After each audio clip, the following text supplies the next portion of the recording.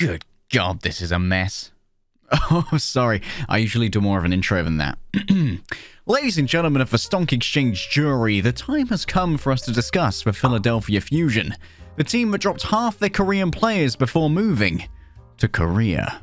Now I know what you're thinking. Ooh, leg day. Why bother making a video about Philadelphia when the rumors already savor about as successful in scrims as an octopus would be at Scrabble or Valiant would be at making a fan base? Sorry.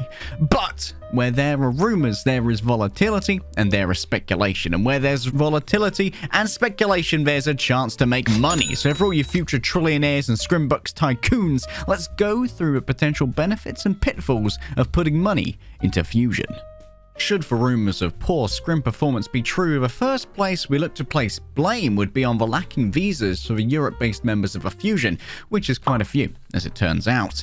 FunnyAstro in particular was essential to the solid performance of Fusion in the 2020 season, and his partnership with Alarm was, in my opinion, the most solid part of the lineup. Alas, South Korean visa laws have become far more strict after an incident last year when Exy tried to smuggle Cruz into the country on a pet visa by claiming that Cruz was his dog.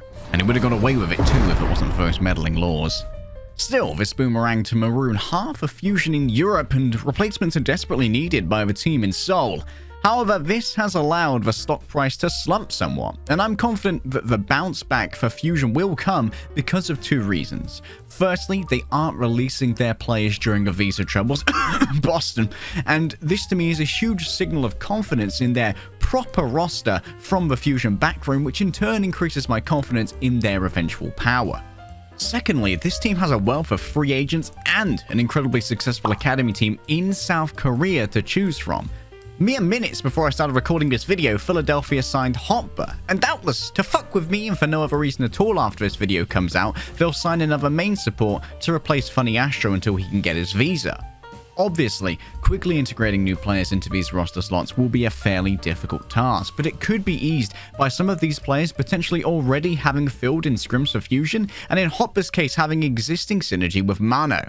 Plus, with Hotba's far afield off-tank style, it'll be like Poko never left, as Hopper claims space over in Europe while the teamfight occurs in Korea. Still, this is all theory, all conjecture. Leg day.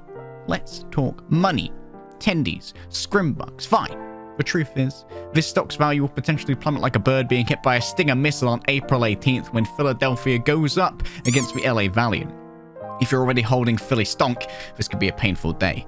If you're looking to invest and want to maximize your gains, buying after a Giga Dip if they lose to Valiant's emergency squad could get you the most for your money. Still, this assumes that Philly loses to Seoul, which is their first match, and I'd say that's pretty likely.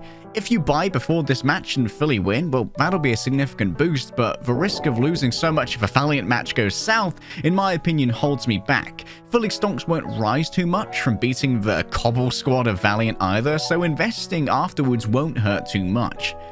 This stock will be almost guaranteed to rise through the season as the far-flung European members of the roster relocate to Seoul with proper non-pet visas. So as of last week, I'd recommend doing a long hold on these if you're buying in early 2021.